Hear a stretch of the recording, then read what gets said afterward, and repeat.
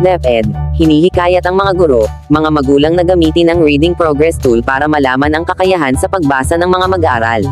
Ika-6 ng Disyembre taong 2021 upang malinang at malaman ang kakayahan sa pagbasa ng mga mag-aaral, hinikayat ng Kagawaran ng Edukasyon DepEd ang mga guro, mga magulang, at iba pang reading specialists na gamitin ang Reading Progress Tool noong oryentasyon ng mga aktibidad para sa National Reading Month noong ika-26 ng Oktubre. Isang self-instructional application ang Reading Progress Tool na makatutulong sa mga guro upang matulungan ang kanilang mga mag-aaral na mapabuti ang kanilang kahusayan sa pagbasa at magkaroon ng pagmamahal sa pagbabasa. Maaari itong magamit sa pamamagitan ng Assignments tab sa Microsoft Teams. As an avid reader myself, I'd like to witness the next generation become well-rounded readers as well since reading give a multitude of benefits on well-being and the learning process. This initiative is another step of the department to champion reading as a foundational tool for quality education, ani kalihim Leonor Magtoles Briones. Hinikayat din ni Bureau of Learning Delivery, BLD, Director Leila Arola ang mga guro, mga supervisor, at mga magulang na gamitin ang Reading Progress Tool dahil ito ay ginawa para sa inklusibong pagkatuto. The Reading Progress is a Microsoft Teams built-in tool that is designed to support and track the reading fluency of learners.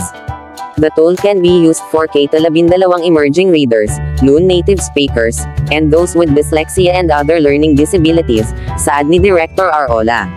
Samantala, tinalakay ni G. Christian Katahan, Customer Success Manager mula sa Microsoft Philippines, ang mga katangian ng Reading Progress Tool at kung paano nila matutulungan ang mga guro na alamin ang katatasan ng mga mag-aaral sa pagbasa ng mga teksto sa Filipino at English. It is a tool that is free for everyone, for all DepEd learners and teachers. All you have to do is, of course, use your DepEd provided Microsoft account, pagbabahagi ni G. Katahan. Makikita ang contextualized tutorial para sa mga guro sa Filipino ukol sa paggamit ng Reading Progress tool sa link na ito, aka.ms slash DepEd Reading Progress.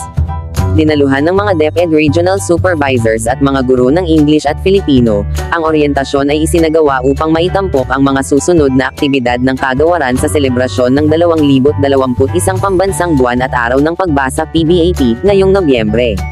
May temang, bawat bata bumabasa sa kabila ng hamon ng pandemya, naglalayo ng PBAP ngayong taon na isulong ang pagmamahal sa pagbabasa sa mga mag-aaral. Kasama sa mga aktibidad ng PBAP ay ang capacity building sa storytelling, dagtungang pagbasa, reading cup, at reading challenge para sa mga mag-aaral, mga guro, at mga kawani.